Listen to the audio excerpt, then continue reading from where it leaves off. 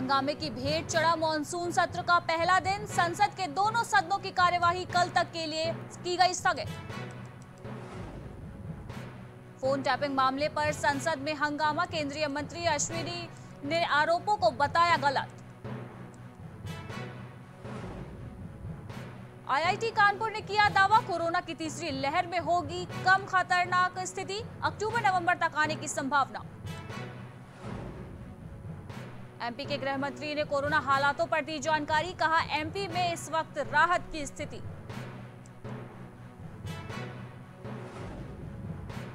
भोपाल में निशुल्क एंबुलेंस सेवा का किया गया शुभारंभ, कायस्थ समाज को समर्पित की गई एंबुलेंस।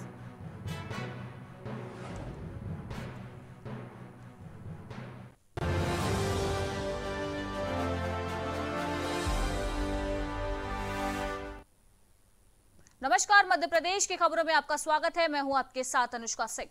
गृह मंत्री नरोत्तम मिश्रा ने मध्य प्रदेश के कोरोना हालातों पर जानकारी दी है। उन्होंने बताया कि कोरोना को लेकर इस वक्त एमपी में राहत की स्थिति है। गृह मंत्री ने बताया कि न केवल आठ केस सामने आए हैं, बल्कि 27 लोग स्वस्थ होकर वापस घर जा चुके हैं। फ़िलहाल मध्य प्रदेश में अब केवल एक सौ चौरानवे एक्टिव केस बचे हैं। रोज़ाना सत्तर हज़ार टेस्ट किए जा रहे हैं। वहीं गृह मंत्री ने कई और मुद्दों पर भी बयान दिया। उन्होंने किसानों से लेकर कमलनाथ के ट्वीट पर भी अपनी राय रखी। साथ ही नवजोत सिंह सिद्धू के पंजाब कांग्रेस का अध्यक्ष बनने पर भी उन्होंने निशाना साधा है। देखो, ये तीसरी लहर का शब्द का प्रयोग जिसने भी किया हो, वो अच्छा नहीं है। कौन चाहता है कि तीसरी लहर आए? हमने पहली और दूसरी लहर की पीड़ा भोगी है, उसका दंश सहा है। राजनीति करने के लिए कांग्रेस को और भी तो फोरम है ना।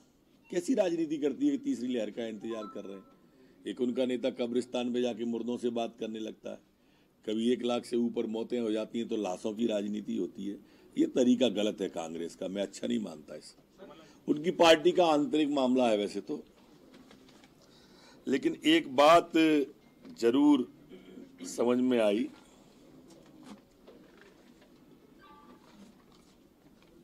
जिस व्यक्ति ने पप्पू शब्द की उत्पत्ति की हो, जिसने कांग्रेस को मुन्नी से भी ज़्यादा बदनाम कहा हो उस व्यक्ति को कांग्रेस का प्रदेश का अध्यक्ष बनाए तो ठोको ताली तो कहना पड़ेगी कांग्रेस के लोगों से कि अब तो ठोको ताली। वहीं इसी खबर पर तमाम जानकारी देने के लिए हमारे एमपी हेड धर्मेंद्र हमारे साथ जुड़ चुके हैं। तो धर्मेंद्र, आज भोपाल में गृह मंत्री ने कोरोना हालातों पर जानकारी दी है। उन्होंने कहा है कि एमपी में इस वक्त कोरोना के हालात सामान्य है। क्या कुछ कोरोना के हालात इस वक्त आप देख पा रहे हैं? धर्मेंद्र आपको मेरी आवाज़ आ रही है? पिछले पूर्व दतिया दो दिन के प्रवास के बाद लौटकर नरोत्तम मिश्रा भोपाल पहुँचे और उन्होंने जो जिस तरह का बयान दिया है भोपाल में ही नहीं मध्य प्रदेश में पूरे कोरोना पर लगाम कस ली गई है। बहुत हद तक, काफ़ी हद तक लोगों को जो डॉक्टर्स उनको सफलता मिली है कोरोना पर काबू पाने के लिए। और जिस, जो आंकड़े बताए गए हैं, जिस तरह की पुष्टि की जा रही है डॉक्टरों के द्वारा, और अंततः नरोत्तम मिश्रा ने भी इस पर मोहर लगा दी है कि कोरोना पर फ़िलहाल उसकी स्थिति से निपटने के लिए मध्य प्रदेश सरकार पूरी तरह तैयार है और पूरी तरह से उस पर फ़िलहाल काबू पा लिया गया है। उसी तरफ़ नरोत्तम मिश्रा ने यह भी कहा कि जिस तरह से कांग्रेस को उन्होंने खासकर घेरा है कि कांग्रेस जो है कोरोना पर हुई मौतों पर भी सियासत कर रही है, लाशों को पर सियासत कर रही है, उन्होंने ये भी कहा कि कमलनाथ की बात पर अगर गौर करें तो कमलनाथ जो है उन्होंने लगातार किसानों के साथ धोखा किया है, छल किया है कर्ज माफ़ी के नाम पर उनको, उनके साथ एक बहुत बड़ा, जो उन्होंने छल किया है तो उन्होंने कहा था हम कर्ज माफ़ कर देंगे, लेकिन किसान मुँह ताकते रहे, लेकिन अंततः कमलनाथ की सरकार गिर गई और उन्होंने कर्ज माफ़ी नहीं किया और डेढ़ साल के कार्यकाल के दौरान कमलनाथ सरकार ने लगातार लगा जो किसान है, उनको साथ धोखा किया और उनके कर्ज को माफ़ी नहीं किया। तो इन सारी बातों को लेकर निशाना साधा है नरोत्तम मिश्रा ने कांग्रेस के ऊपर उन्होंने ये भी कहा है कि नवजोत सिंह सिद्धू जो है, वो प्रदेश के अध्यक्ष बनाए जा रहे हैं पंजाब से। लेकिन गौर करें तो जो राजीव गांधी थे, वो हमेशा युवाओं को बढ़ावा देने की बात करते थे। लेकिन कांग्रेस जो है, उसके विपरीत दिशा में चल रही है और राजीव गांधी के सपनों को साकार करने से कहीं ना कहीं दरकिनार कर रही राजीव गांधी के नाम को। और यही एक बड़ा कारण है कि नवजोत सिंह सिद्धू जैसे अधेड़ उम्र के व्यक्ति को एक बार प्रदेश अध्यक्ष बनाया जाता है। तो इस सारे मामलों को लेकर नरोत्तम मिश्रा ने एक बड़ा बयान दिया है। जी। बहुत धन्यवाद धर्मेंद्र आपका इस तमाम जानकारी के लिए। तो भोपाल से इस वक्त बड़ी खबर हम आपको बता रहे थे, जहाँ पर गृह मंत्री नरोत्तम मिश्रा ने आज पत्रकारों से बातचीत की, जहाँ विभिन्न मुद्दों पर उन्होंने अपनी प्रतिक्रिया दी है। वहीं भारतीय कायस्थ सेना द्वारा भोपाल कायस्थ समाज को निशुल्क एंबुलेंस सेवा का शुभारंभ आज किया गया है। आपको बता दें कि कार्यक्रम में मुख्य अतिथि मनोज श्रीवास्तव, सेवानिवृत्त अपर मुख्य सचिव ने एंबुलेंस कायस्थ समाज को समर्पित की है। इस मौके पर उन्होंने कहा कि कोरोना काल के दौरान समाज के लोगों को एंबुलेंस और चिकित्सा सुविधा की ज़रूरत को देखते हुए भोपाल में यह सेवा शुरू की गई है। बहुत जल्द ही प्रदेश के 18 जिलों में निशुल्क एंबुलेंस सेवा की शुरुआत की जाएगी। साथ ही मुक्त वाहनों को भी प्रा, प्राथमिकता दी जाएगी ताकि आने वाली विपदा के समय में समाज के लोगों को परेशानियों का सामना न करना पड़े। वहीं इसी खबर पर तमाम जानकारी देने के लिए हमारे ब्यूरो हेड धर्मेंद्र हमारे साथ बने हुए हैं। तो धर्मेंद्र, आज निशुल्क एंबुलेंस सेवा का शुभारंभ किया गया है, जहाँ कायस्थ समाज को एंबुलेंस समर्पित की गई है। क्या कुछ जानकारी है? जी, बिल्कुल। भारतीय कायस्थ सेना जो है, उसमें कोरोना काल के समय जो, आपदा के समय जो हालात देखे हैं पूरे मध्य प्रदेश के, देश के, उसको लेकर भारतीय सेना ने मध्य प्रदेश में एक एंबुलेंस जो है, वो सेवा बहाल की है और उन्होंने इस मौके पर मनोज श्रीवास्तव जो कि पूर्व अधिकारी रह चुके हैं, अपर सचिव रह चुके हैं, उनको बुलाकर उन्होंने उसका शुभारंभ करवाया है। गाय समाज का ये मानना है कि जितने भी मध्य प्रदेश के अभी कुल 18 ज़िले ऐसे जहाँ पर वो प्राथमिक तौर पर वहाँ भी एंबुलेंस की सेवाएँ जो है वो प्रदान करेगी। ये सारा खर्चा जो है वो कायद समाज को स्वयं वहन करेगा।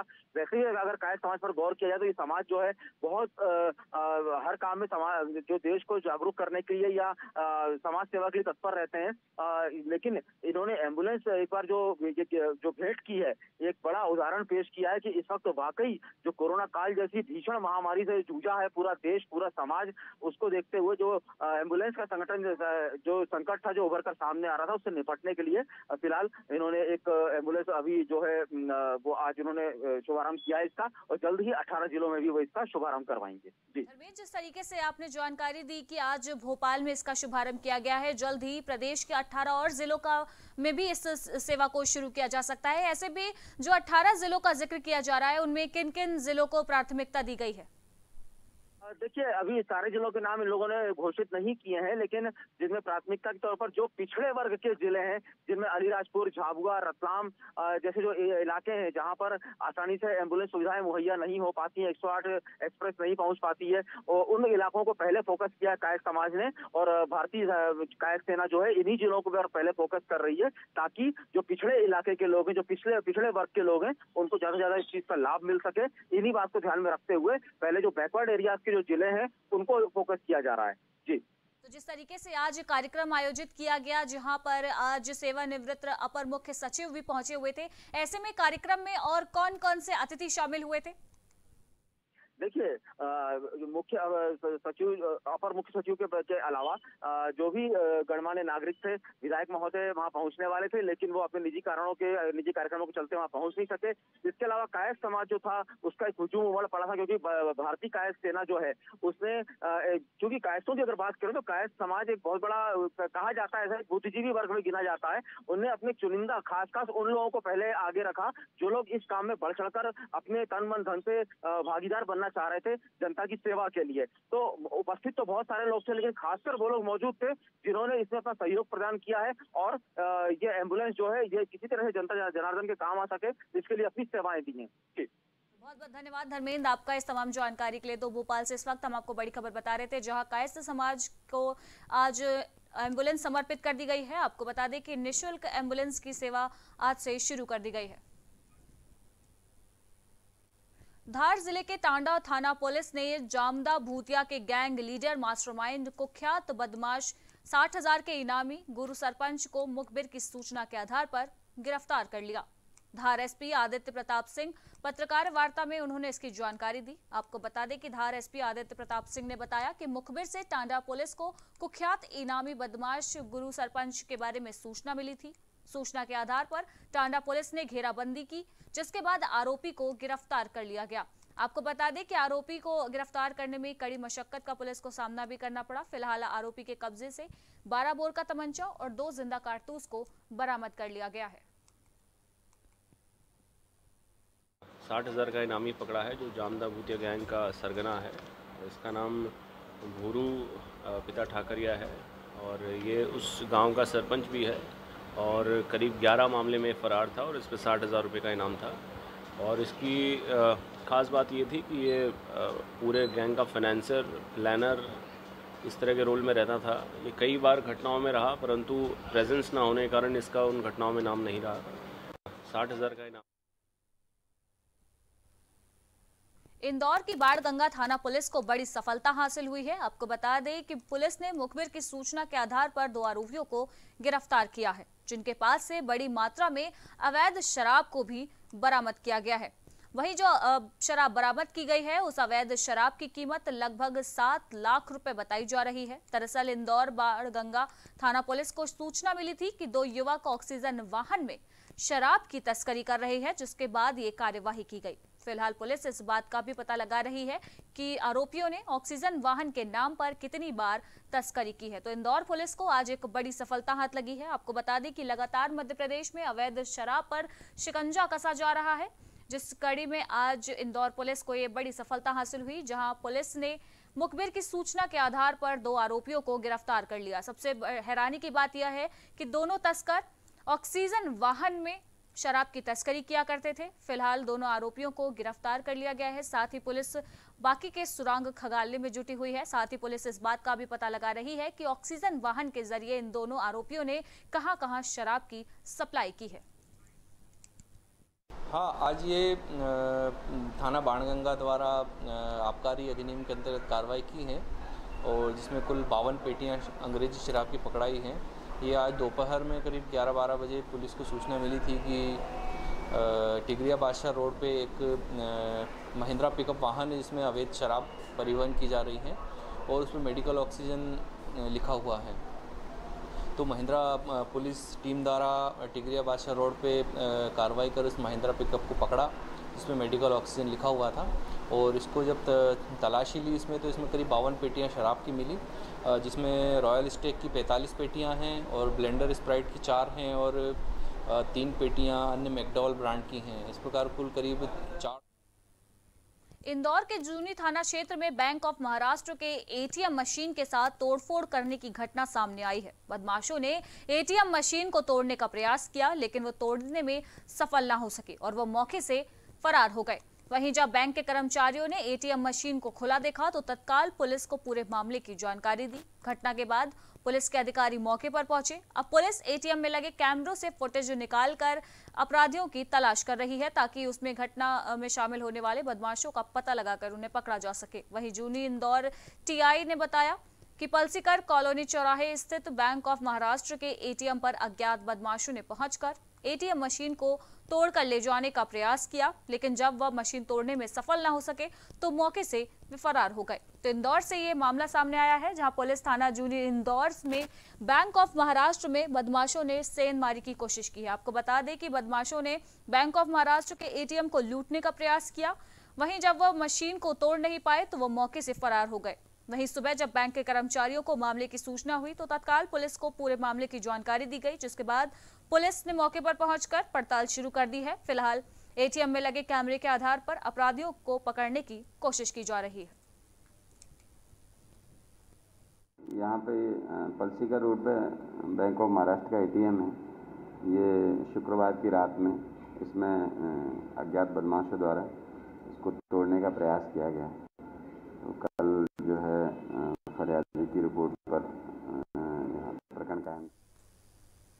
इंदौर के सदर बाज़ार क्षेत्र में विद्युत मंडल के कर्मचारी के साथ मारपीट का मामला सामने आया है, जिसके बाद पुलिस ने घायल कर्मचारी की शिकायत के आधार पर मामला दर्ज कर आरोपियों की तलाश शुरू कर दी है।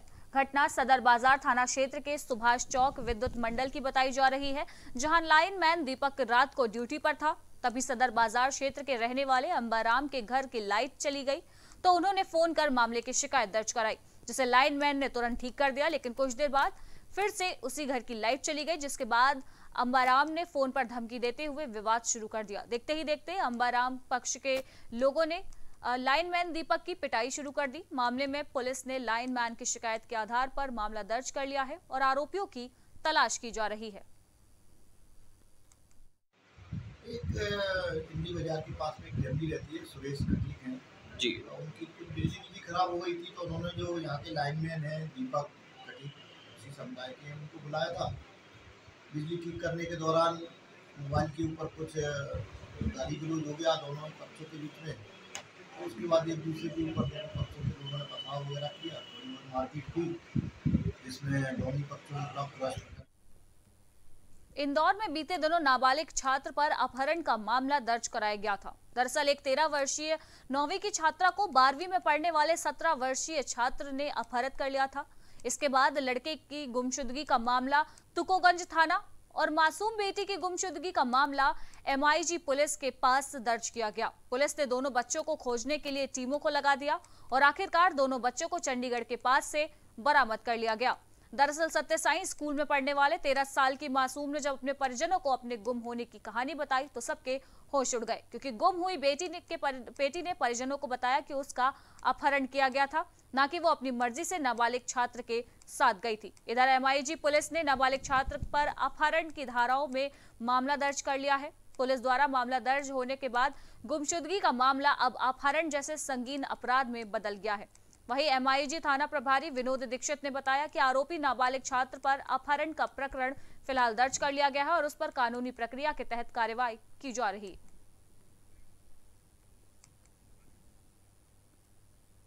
रीवा के सिटी कोतवाली थाना अंतर्गत निपानिया में बच्चों के विवाद में दो परिवार आमने सामने आ गए। बता दें कि बच्चों को दिए गए बीस रुपयों ने के बीच दो परिवारों में विवाद हो गया। वहीं विवाद में गोलीबारी शुरू हो गई, जिसके बाद मौके पर एक युवक के कमर और पैर पर गोली लग गई। वहीं घायल को तत्काल संजय गांधी अस्पताल में भर्ती कराया गया। फ़िलहाल मौके पर पहुँची पुलिस ने मामले की पड़ताल शुरू कर दी है।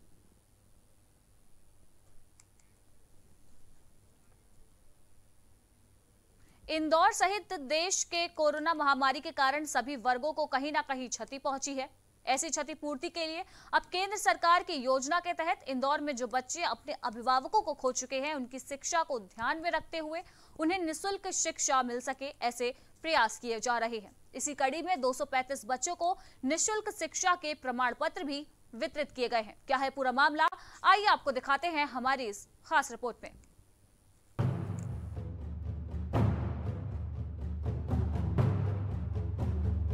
इंदौर में महामारी की दूसरी लहर मानव जाति के लिए काफ़ी नुकसानदेह साबित हुई है।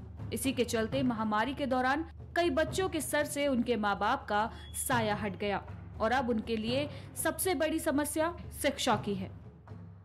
जिसके बाद केंद्र सरकार व राज्य सरकार द्वारा सराहनीय पहल करते हुए इन बच्चों के लिए निशुल्क शिक्षा नीति का निर्माण किया गया, जिसके तहत इंदौर शहर में सांसद शंकर लालवानी ने सांसद सेवा संकल्प ऑनलाइन एप्लीकेशन तैयार की और इस एप्लीकेशन के माध्यम से तकरीबन 550 बच्चों का रजिस्ट्रेशन किया गया और देर शाम लगभग 235 बच्चों को रजिस्ट्रेशन के मुताबिक निशुल्क शिक्षा के प्रमाण पत्र बांटे गए। यह बच्चे अब स्कूल में निशुल्क शिक्षा को प्राप्त करेंगे। वहीं सांसद शंकर लालवानी ने मीडिया से चर्चा में बताया कि शहर के कई सामाजिक संगठन इस पर सहयोग कर रहे हैं और करीब पिचानवे स्कूलों से भी चर्चा की गई है। उनका कहना है कि वह बच्चों को अलग अलग प्रतिशत के हिसाब से निशुल्क शिक्षा देंगे। लेकिन बाकी बचे प्रतिशत की फ़ीस भरने के लिए भी सामाजिक संगठन आगे आए हैं और उन्हीं के माध्यम से अब इन बच्चों की फ़ीस भरी जाएगी। वहीं कई सामाजिक संगठन स्कूल की फ़ीस के साथ साथ किताब कॉपी सहित अन्य सामग्रियाँ भी देने को तैयार हो गए हैं। इसी के साथ उच्च शिक्षा के छात्रों के भी रजिस्ट्रेशन एप्लीकेशन के माध्यम से किए जा रहे हैं, जिसमें 175 छात्र के अब तक आवेदन आ चुके हैं और उनके लिए भी आने वाले दिनों में कॉलेजों से बात की जाएगी और उन्हें प्रवेश निशुल्क दिलाया जाएगा। जो स्कूल आए थे पिचानवे स्कूल है इंदौर में, जिनसे, जिसमें ये बच्चे पढ़ रहे हैं। और जो अप्लीकेशन आई है, उसका अलग है। अभी तक पिचानवे स्कूल वालों से हमारी बात हुई। हमने स्कूल में पत्र दिया था, उन्होंने कुछ कंसिडर करा, कुछ ने अपनी असमर्थता थी उसकी फ़ीस हम दे रहे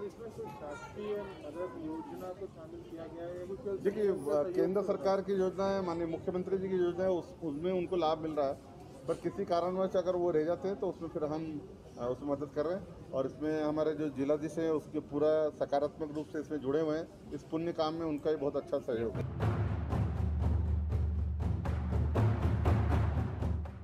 खैर, जो ये निशुल्क शिक्षा नीति बनाई गई है, वे काफ़ी सराहनीय है। लेकिन इस शिक्षा नीति के तहत कई तरह के मापदंड भी रखे गए हैं, और उन्हीं मापदंडों के कारण कई छात्र इस नीति के क्राइटेरिया में नहीं आ रहे हैं।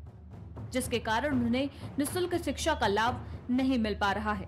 और इसी कारण से सांसद शंकर लालवानी ने कहा है कि उन्हें भी इस प्रकार से मदद दी जाएगी और सरकार आगे पहल करेगी। इसके लिए सामाजिक संगठनों से बात की जा रही है। आगे आने वाले दिनों में बाकी बचे बच्चों को भी लाभ दिया जाएगा। Desk report, prime TV. और इसी के साथ मध्य प्रदेश की खबरों में फ़िलहाल इतना ही। देश दुनिया की बाकी की तमाम खबरों के लिए अब बने रहिए प्राइम टीवी के साथ। नमस्कार।